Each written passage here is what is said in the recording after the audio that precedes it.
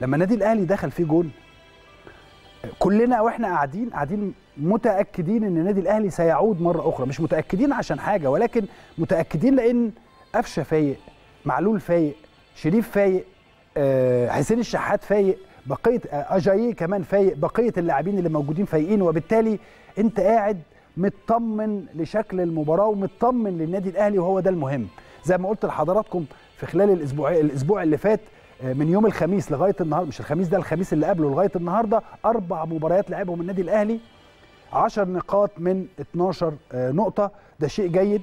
إحنا طبعا كلنا دائما ننظر إلى آه، إن إحنا ناخد 12 من 12 ولكن زي ما حضراتكم عارفين فاكرين مباراة بيراميدز واللي حصل فيها. ولكن في النهاية هي مباراة وانتهت. واستطاع النادي الأهلي أن يعود بعد هذه المباراة بشكل رائع جدا سواء أمام سموحة أو المقاولين.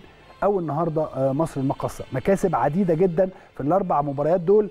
آه، موسيماني أدار الموضوع أو أدار الأربع مباريات في الدوري العام بشكل رائع جدا. قدر يستثمر كل اللاعبين اللي عنده بحيث إن هو يبقى عنده القماشة كلها أو اللاعبين كلهم موجودين علشان يختار منهم إن شاء الله في المباراة النهائية. وهي الأهم وهي حلم اللاعبين وحلم الجهاز الفني وحلم الإدارة ومن قبلهم جمهور النادي الأهلي. الكل ينتظر والكل ينظر إلى هذه المباراة.